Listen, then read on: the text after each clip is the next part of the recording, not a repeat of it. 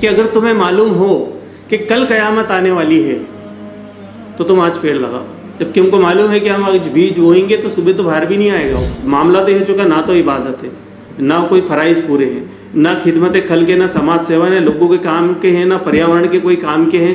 उसके बाद में फिर ये आखिरी बचा कि बुराई से रोकना, नेकी का हुक्म देना, वो भी नहीं तो फिर मुसलमान कैसे कहें बताओ उसको? पूरा का पूरा हम भूल चुके हैं। अल्लाह के रसूल वसल्लम की जो नबूत से पहले की चालीस साल की ज़िंदगी थी, वो पूरी की पूरी खिदमत खल को समाज सेवा पे कि तुम ज़मीन वालों पर रहम करो, आसमान वाला तुम पर रहम करेंगे।